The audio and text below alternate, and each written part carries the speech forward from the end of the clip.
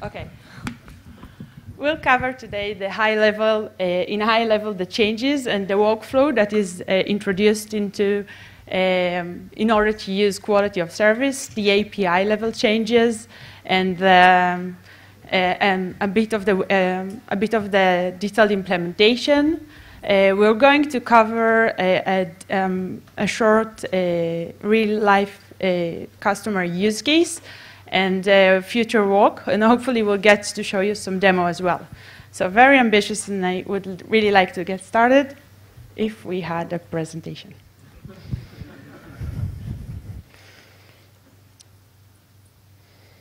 Okay, yay. So how do you go next? This doesn't work? Yes, it's working, yay. Uh, okay, so to kickstart the session, I wanted to, I, I, was looking for a definition. And the definition I found is actually a good point. It, it would get me into um, emphasizing the first point I wanted to start with. So let's review the definition. What is network quality of service? It's the ability to guarantee a certain network requirements um, in order to satisfy SLA between the application provider and the end users. It's an awesome definition, very high level definition. And for those of you who've been around for, couple, for the last couple of years in, in OpenStack Neutron, you probably know that the original blueprint that was submitted uh, for quality of service was introduced in Havana. Havana, anyone remembers? It's over two years ago. Um, and, and this uh, definition is actually the, one of the reasons why it took so long. There's no industry standard de facto. It's, it's too high level definition. Everyone, there are multiple aspects for quality of service. Obviously, everyone can take it to its own direction. We have multiple vendors in the community. We would like to accommodate everything. We want to do everything. We want to do it very good. Well, two years, we didn't do nothing, actually. So um, what we decided to do is um, understand, acknowledge the fact that there's a variety of ways to define quality of service.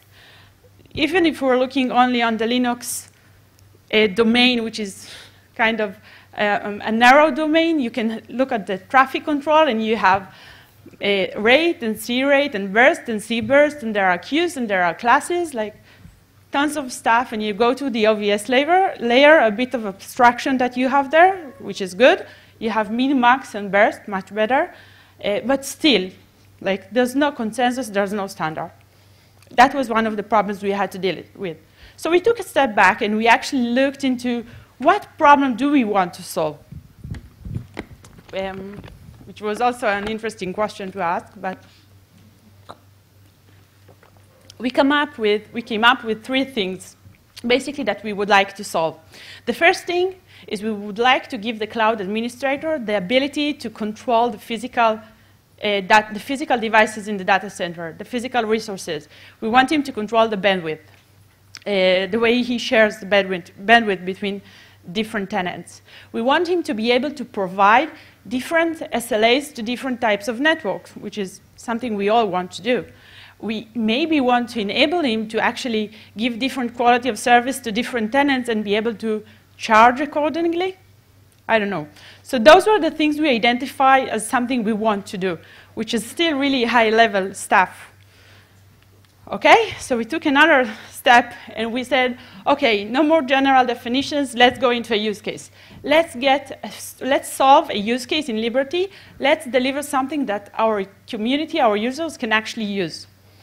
So we came up with the noisy neighbor problem, also known as the chatty neighbor problem. Um, for those of you who are not familiar with it, the problem is basically a shared resource. It all starts with a shared resource, in our case, the network bandwidth. And we want to share it with multiple consumers, in our case, the VMs that are sharing the single hypervisor. They all want the same resource, like these two cute hamsters, they want the same biscuit. But if one of them would take a, a, a bigger bite or more of a fair share of his biscuit, I'm sure the other hamster won't be so pleased. And it's the same with actually our virtual machines. One, if one of the virtual machines is becoming very chatty, the other VMs are suffering. And we would like to avoid that problem. And this is the problem we actually focused on in Liberty, and this is what we were trying to solve. One more thing that we kept in mind is that there's a wide range of use cases. We have to implement something in a generic way. We have to be able to extend it. We want to make the extension easy uh, for other vendors, for other types of rules, um, and, that was something we kept in mind throughout the implementation, and I'm sure you're going to see that throughout the presentation here. Um, one more thing, we actually wanted to deliver something in Liberty. So that was our biggest challenge. We wanted to get it to start and end in, in one cycle, to scope the work really good. So focusing on that use case actually enabled us because it eliminated three really big challenges. So let's go and see what we did not handle in Liberty, but we hopefully will be able to handle uh, at future uh, cycles. So the first one, we didn't handle any of the physical layer. So we do not configure any quality of service on the switches, on the router, on the physical switches, physical routers. We do not handle any of that in, in Liberty. We also only handle the traffic that is leaving the virtual machine the VM egress traffic. Why? Two reasons. One, we'll be able to solve our use case without doing the incoming traffic. And second, solving the incoming traffic, rate limiting on the incoming traffic into the virtual machine is a more complicated problem to solve. Not super complicated because we have plans in Mitaka, but still, it, it was something out of the scope. Uh, okay, the last and, the, and my, my, favorite thing is that we did not handle any integration with other projects, specifically not with the Nova Scheduler. It's really challenging. We really wanted to get something done, and that was the reason we postponed it. For example, to implement minimum bandwidth guarantee, we would have to implement integration with the Nova Scheduler, because we want to make sure that when you schedule a VM on a hypervisor, you'll be able to give it the minimum bandwidth you want and not overcommit uh, the bandwidth. So this is, again, something that is planned for Mitaka, not handled uh, for this use case. So what we did, we met in the Red Hat Tel Aviv uh, office, um, and we had a coding sprint for three days.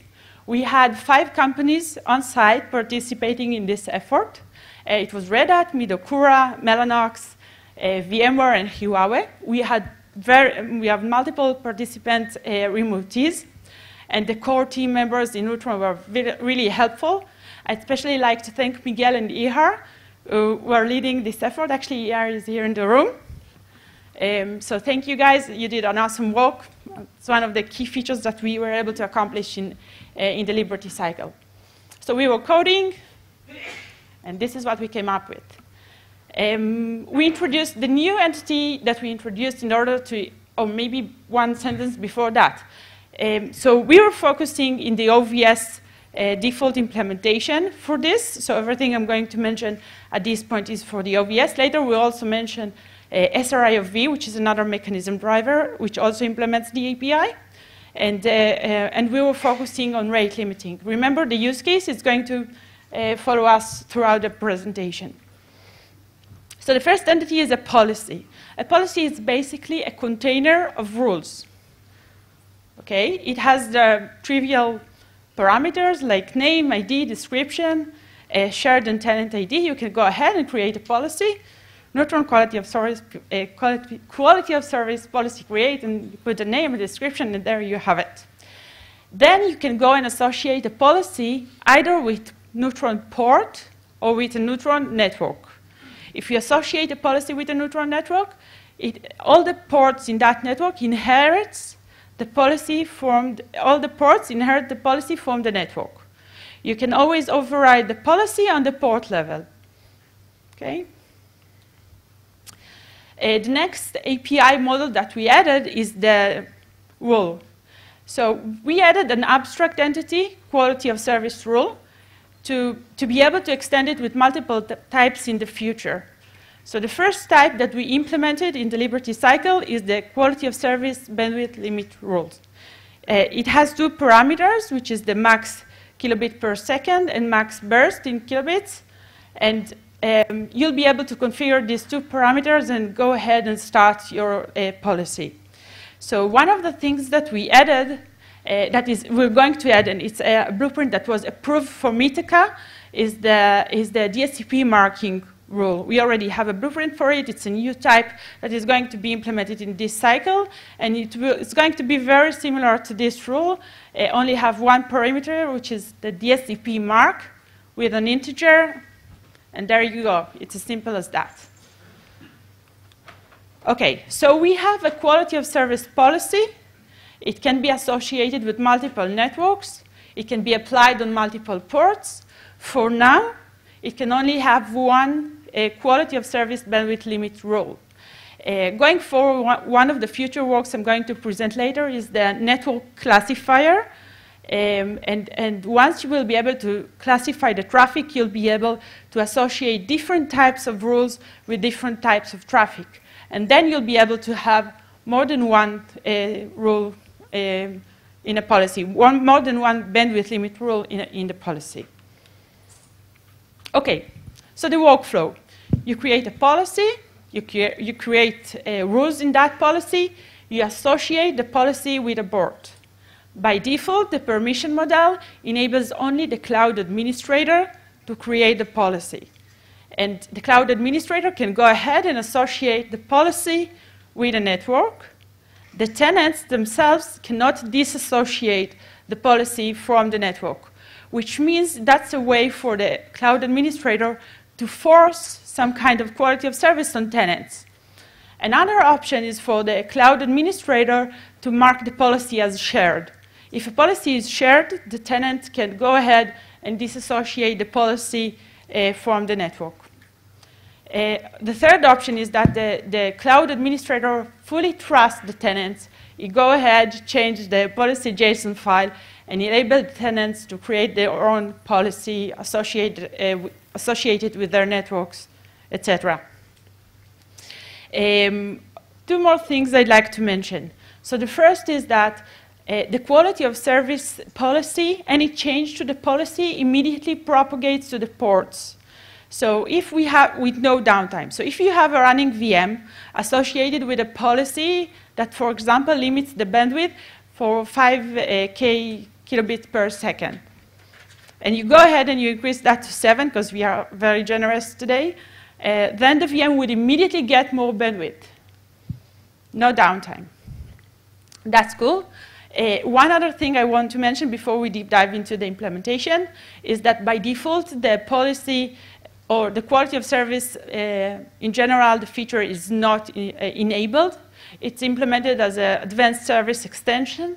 So if you want to use it, if you want to, you have to go ahead to the configuration file and enable it. It's all specified in the user manual. We, we have very good documentation for this feature, I hope. Uh, I read it. I think it's good. um, so go ahead and, and try it. So it's very useful. Now let's start uh, to, with a deep dive.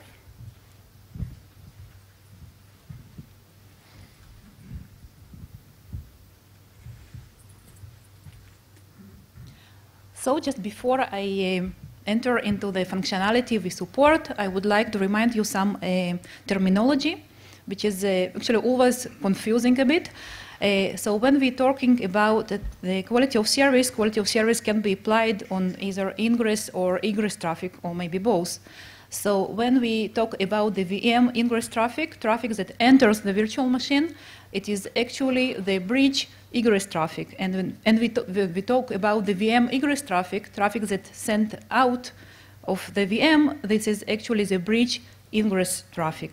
So in case of a Open vSwitch, uh, each uh, virtual machine device is actually represented by the tap uh, device in the physical server. And it's possible to apply a policy that we need for VM on the interface of the bridge. Currently, Open vSwitch uh, supports two different options to apply quality of service. For the traffic that ingress the bridge, it's possible to apply policy, which is quite simple quality of service mechanism that will uh, drop packets if they exceed the configured rate. Another option, which is uh, currently not supported by the work we did, is uh, applying shaping on the egress traffic, which is the more sophisticated mechanism and it actually queues the exceeded packets. So for uh, the quality of service rate limit implementation that we did for Liberty, we, as Livnat mentioned before, what we want to do, we want to uh, limit the traffic that egrets the VM. So we uh, do it by applying the ingress policy on the tap interface of the OVS bridge. Once user defined the bandwidth limit rule and associated with the port that realized by the open vSwitch connectivity, what happens uh, on the driver layer is uh, just a configuration where open vSwitch control commands and applying the attributes we have on the tap interface. We support currently two attributes, one for setting the ingress policing rate, uh, which is an integer uh, number measured in the kilobits per second, and the ingress uh, policy burst, uh, which is measured, me measured in kilobits, and it is advised to set the burst size uh, to be at least as large as uh, the interface MTU and to allow the algorithm to be more forgiving to give it at least 10% of the policing rate itself. Another uh, mechanism driver that, that was uh, support, that is currently supporting quality of service is SRIOV. So let me just explain a bit what is SRIOV all about.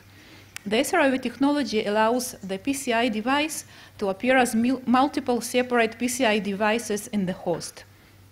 So we have one single physical port which is uh, actually can be shared among uh, multiple virtual machines. And uh, it can provide a near native performance to the, to the guests. When we have some bandwidth for the physical port, it is actually shared across all virtual uh, functions of this uh, of the physical port. Uh, OpenStack uh, supports SRIOV uh, virtual function pass-through as a network interface to the guests since uh, Juno release. Uh, and in order to apply rate limit on the SRIOV uh, port, we use IP-link commands, and we need to know the exact physical device, the device of the physical function that hosts this virtual function, and the virtual function index uh, so then we apply the requested rate on this virtual function. Uh, the IP-link uh, rule, uh, the IP-link uh, utility actually has a number of limitations. First of all, the measurement is uh, done in megabits per second and not kilobits per second. So if the user specifies in the current API we have the rate in kilobits per second, it will have to be rounded to the nearest megabits per second, and it also doesn't support any floating numbers, only integer. So uh, it will always be the nearest uh, number, and it also doesn't support the burst, so it will be just ignored by the implementation the, this moment. So uh, now we'll deep dive into the implementation details. The quality of service was implemented as a service plugin that uh, implements quality of service API. Uh, the plugin uh, handles API requests to, uh, to handle quality of service policy and rule-related operation. It is responsible to persist the quality of service uh, models in the database, which holds for the policy, for the bandwidth limit rule, and also for the binding between the core resources, such as network and port, with the quality of service policy. They have the pluggable uh, notification drivers that uh, are used in order to propagate quality uh, of service objects uh, modifications to the backends. Currently, for the reference implementation, we have message queue-based notification driver that is responsible to send uh, notifications to the L2 agents. As part of this uh, implementation, uh, some infrastructure mechanisms were added in order to support a pluggable way to add additional rules and uh, support in the future rolling upgrades. So we have the RPC callbacks mechanism that both sides, agent and server, register. The, ser the server side registers the provider of the information, and L2 agent can subscribe to the changes. And also, this is a, this is a middleware that we use to propagate the changes from the server to the agent. The data that is passed between the service plugin and the agent is uh, actually using the Oslo versioned object library And Ihar here, here did the tremendous job to introduce this mechanism, so it's very easy and uh, looking forward model to propagate changes between, between uh, the server and the, the agent. On the agent side, we also had some infrastructure changes. Um, we introduced the agent extensions uh, layer, which allows to load uh, different L2 agent extensions, and uh, currently we have the quality of service agent extension. So this is generic layer that can be reused between different agents. Uh, and in case uh, of the quality of service agent extension, it uses the quality of service agent driver, which currently we have for SRIOV and for Open vSwitch, to do the specific configurations on the underlying technology, while the quality of service agent extension is uh, handling the generic part that can be reused between different uh, drivers. Uh, in, in order to integrate this uh, functionality with extending the core resources, we didn't want to follow the uh, mostly common but uh, very abused pattern of the mixins. So what we introduced, we introduced the core resource extension, uh, which defines the interface that the L2 plugin should implement in order to delegate the extension association with the L2 uh, core resource to the handling service plugin. So uh, in our case, there is a quality of service core resource extension that will propagate the policy ID association with port or network to the, to the QoS service plugin for further handling and also to store it in the database. So with the reference implementation in ML2 uh, plugin, we have ML2 quality of service extension, which, which, simply invokes the quality of service core resource extension and uses the service plugin to provide all the required uh, work for the quality of service uh, models. Now I would like to uh, talk about few use cases for uh, the extensibility uh, that can be done with quality of service. So we envisioned the extensibility from the early beginning, and it was uh, actually one of the major requirements for our implementation. So the most common case uh, is uh, adding new rule type to the model. And uh, as Livnat mentioned, we already have this happening for the Mitaka with uh, the DSCP marking rule. So it's actually quite easy to add a new rule. It should be initially defined uh, in the QoS API as a new API resource, and the, the, proper handling method should be added in the quality of service plugin. Obviously, the new data model should be defined for this uh, rule type. Since, uh, as I mentioned before, we use versioned objects that are passed between server and the agent to propagate the the changes of the quality of service policy and rules. So we'll have to introduce uh, the version objects of this rule and uh, to bump the quality of service version to reflect that there is new rule that uh, extended the current policy model. In order to manage this new resource, obviously we also need to update the neutron CLI with the, the handling of uh, of this uh, new uh, resource. Both Neutron server and Neutron client were implemented in such a way that it is very easy to add new rule type without, or maybe with a little modification of the uh, general code. Another use case uh, that we envision that the quality of service is going to be implemented by more uh, mechanism drivers or L2 plugins. So first of all, uh, either it mechanism driver or plugin, it should declare what quality of service rules it's going to support. So this will just require to populate the, the attribute of the class or the mechanism driver with a list of supported rule types. In case of ML2 plugin, um, the supported rule types is the common subset of all the declared ru rule types by the active uh, mechanism drivers in the current deployment. On the service plugin side, uh, the one uh, who adds, uh, who wants to add support with the backend will have to add the notification driver that will propagate the model changes to the, to the backend, to the backend for user implementation.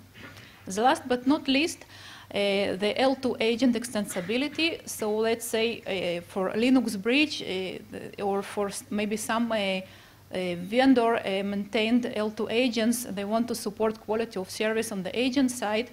So it wise to reuse the infrastructure we already added in Open vSwitch and SRIOV L2 agents to use the quality of service agent uh, extension uh, managed by the agent extension management, and so in such a way that uh, it only requires to implement the quality of service agent API driver in order to configure the underlying uh, networking technology that is used by this uh, L2 agent.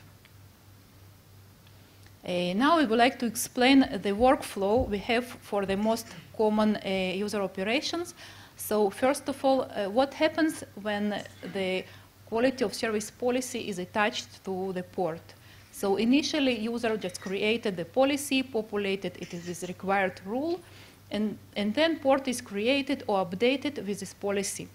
When with, then ML2 plugin will send the notification to the L2 agents about these uh, port changes, and the L2 agent will uh, queue these changes to be handled during the uh, general execution daemon loop that it has. So during this loop execution, agent will uh, query the server to get all the device's details, uh, actually the neutron port details for uh, the device that it needs to update. When the get device details comes to the ML2 plugin, after it populates all the common parts such as the MAC address, IP, etc., uh, it will invoke the registered ML2 extensions. One of them is the quality of service. Quality of service will get the details of the policy associated with this port from the quality of service plugin using the same core extension that I explained before. So once this data is back to the agent, agent first of all does its regular L2 connectivity uh, work, and then uh, agent extension manager will invoke the registered uh, agent extensions. When it comes to the quality of service agent extension, what it does, it will pull the details of the policy from the server using the RPC callback infrastructure and get in return the quality of service rules. Once it gets the rules, it will invoke the registered quality of service driver, so currently uh, based in the OVS or and will request this uh, configuration actions. And uh, first of all, it will remove the previous policy and rules and then configure the new ones. Uh, the general layer of the quality of service uh, agent extension will store the mapping between the policy and the port. So once policy is updated and the notification will arrive, it will do uh, the reconfiguration of the onboarding ports. In order to support this policy update, the, the agent side uh, registers for RPC uh, notifications upon policy changes. On the server side, Quality of Service plugin uh, registers itself as the producer of the information for the policy changes. So as I mentioned before, we introduced some general infrastructure for RPC callbacks, which is uh, actually hides the usual uh, RPC topics uh, work uh, that we, usually do to, to propagate RPC messages between agent and server. And once some policy is changed by the user, the RPC callback uh, is notified by the quality service plugin that the policy is changed, and then the policy changes are pushed to all registered L2 agents. When it comes to the agent that has the mapping I mentioned before between port and policy, quality of service agent extension will go over the all ports uh, related to this policy, remove the old rules, and configure new rules.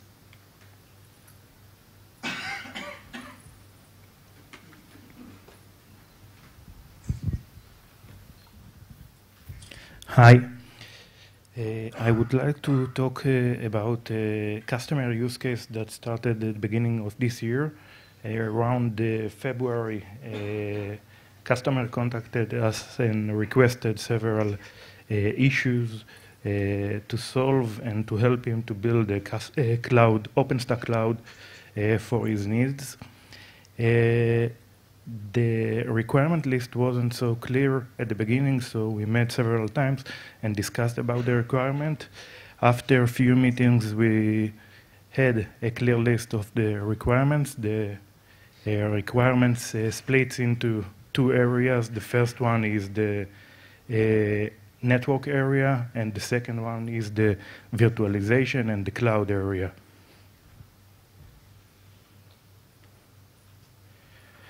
Okay, for the uh, virtualization in the cloud area, uh, the, cu the, customer asks us to provide uh, virtualization with the support of multi-tenancy.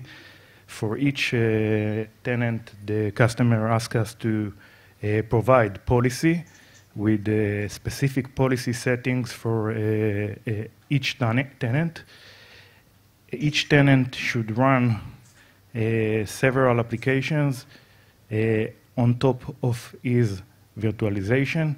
For this case, we provided also uh, containers, list of containers on top of the virtualization on the VM, on the virtual servers. Also, we use the standard the SRIOV, uh, the standard SRIOV in the community in order to provide virtual function for each uh, VM. For each virtual function, we also uh, support a QoS policy with rate limit at the beginning. Next stage for the next year is also to support bandwidth guarantee.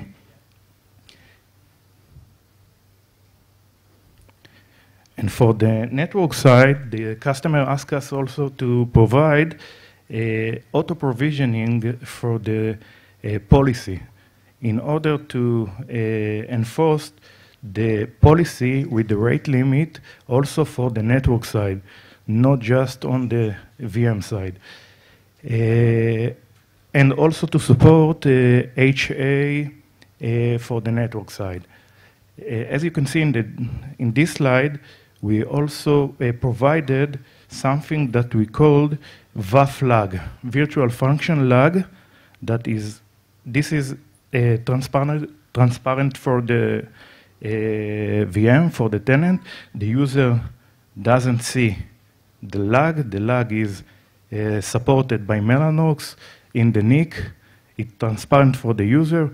The policy also with the hash function implemented in our NIC side. And also we provided ML2SDN pl uh, plugin that supports uh, also uh, the policy. the ML2SDN plugin actually publish outside to any SDN controller the policy properties. In Mellanox, we have a, a, product that called that is called uh, Mellanox Neo. Mellanox Neo gets those notification and configure the entire network with the policy. And also uh, provide auto provisioning of segmentation uh, like uh, VLANs or in case of InfiniBand the solution in Mellanox, we provide PKey isolation.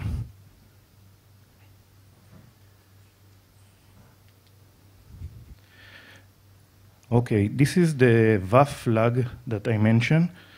Actually, in the VF driver, as you can see, we split it to two virtual functions. Each virtual function is associated with the, a specific network port. It's transparent for the user. The user doesn't see uh, two, two virtual functions, only one. And for this virtual function, we uh, define the policy. Also, please know that uh, for uh, lag, we can support also active-active, active-passive, and LACP. For this case, we took only the uh, active-passive option because the user just asked us to implement the uh, core support.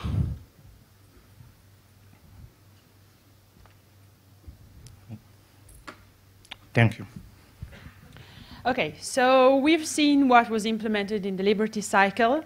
Uh, we've seen that we only covered a basic use case. There's a lot more, more work that needs to get done.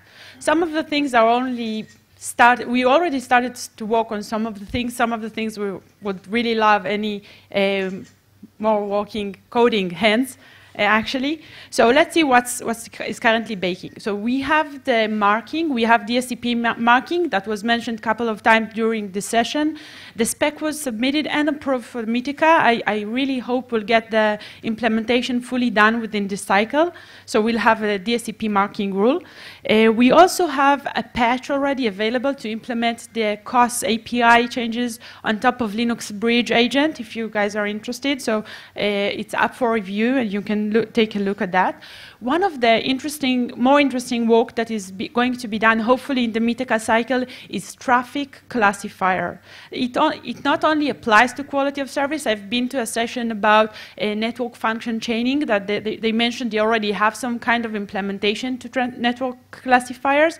Uh, also, I talked to one of the guys about be it being useful in security group. So it's a key feature probably needed by many features. Hopefully, we'll get started with it uh, in the Mitaka cycle. We'll get the network classifier in, and then we can apply a quality of service rule on specific types of traffic. So it's really cool stuff. Uh, you don't see it in the slide, but there's a work to integrate a RBAC mechanism that was introduced in Liberty. RBAC is a role-based access control, a finer-grained uh, access or permission model, let's call it like that. If you want to create a policy and only share it between uh, specific tenants and not with all tenants, you'll be able to do that. Uh, obviously, we also uh, have to handle the upgrade mechanism and a few other uh, marking. So a lot of work to be done. We are starting to, to take a look at some of the, of the things that needs to get done. hopefully, they will be completed in the Mitaka cycle. So thank you. I think now it's time for questions if you guys have any. Yes. Yeah, um, thanks. Nadir from ZeroStack. So um, I wanted to clarify, you said in the beginning of your work uh, you focus on the hypervisor only, mm -hmm. but Moshe showed an example where it's supported on top of rack switch as well.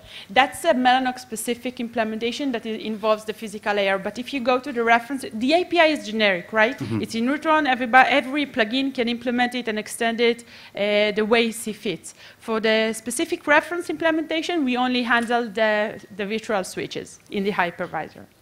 Thanks. More questions? Yes. Um, this question, uh, first, actually, thanks, uh, great presentation, great work. Thank you. Uh, they did the, the great work. what about the uh, policing and, and enforcement? Yeah.